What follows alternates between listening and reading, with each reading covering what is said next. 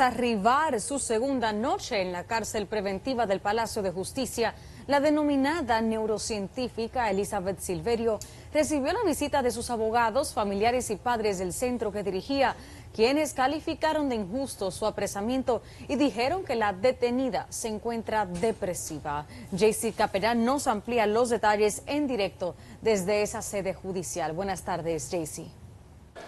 Gracias, así es, aunque prefirieron no referirse al caso hasta tanto no tener a mano la solicitud de medida de coerción. Los abogados de Elizabeth Silverio indicaron que la denominada neurocientífica se encuentra depresiva desde su apresamiento y a pesar de no especificar por qué señalaron que necesita ayuda de profesionales. Se ha pisoteado su honor y su consideración han sido totalmente enterrados.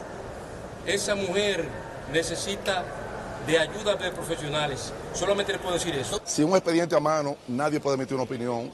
Eso sería una, un irrespeto a la prensa, un irrespeto a la sociedad, emitir opinión y un irrespeto al Ministerio Público que no ha concluido con su formulación de de presentación de solicitud de medida de coerción. A este lugar también acudieron los padres de niños que recibían atención en el centro que dirigía Silverio y explicaron que sus hijos presentaron mejoras al iniciar las terapias y que desde el cierre del lugar aún están a la espera de que sean contactados por las autoridades del sector para reanudar las sesiones. Por orden del presidente que nos vas a llamar a, nosotros.